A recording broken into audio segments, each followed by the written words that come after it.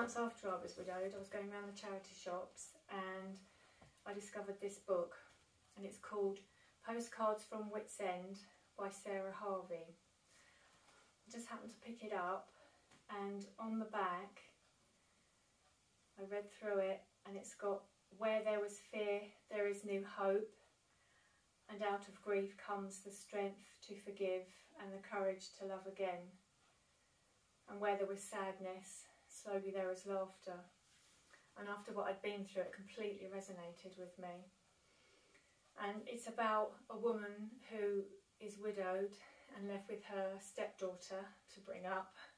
And her stepdaughter's being a bit of a pain and she gets chucked out of college. And in the end this woman has just kind of had enough of her job and everything and decides to take her stepdaughter and go and see her estranged mother down in Cornwall.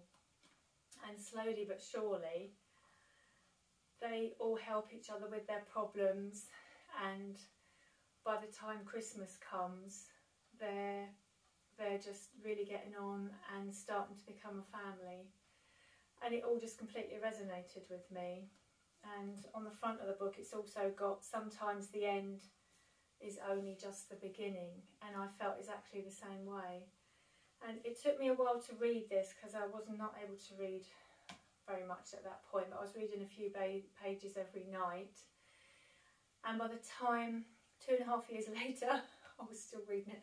Um, by the time I'd met somebody else and relocated, um, I was I was right on the end, and the lady in the book eventually meets someone else and decides to stay down in Cornwall with her stepdaughter, her stepdaughter has met someone else and her, and her life has greatly improved and they decide to stay down there. And it's just such a lovely book. It's where she found happiness in the end, so did I.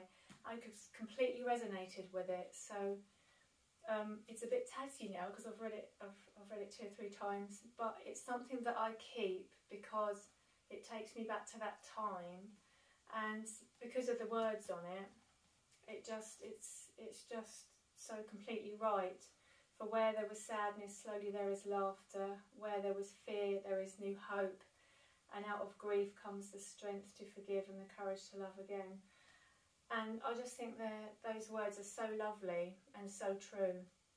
So I was wondering, perhaps you have a favourite book that means something to you and, and why it does. So maybe you could tell me in the comments below. So cheers. Happy coffee morning and um, I will see you very soon. Um, this is actually going to be the last one because um, I'm moving on to some other things now. Please like, subscribe and share. I will see you very soon. Bye bye for now.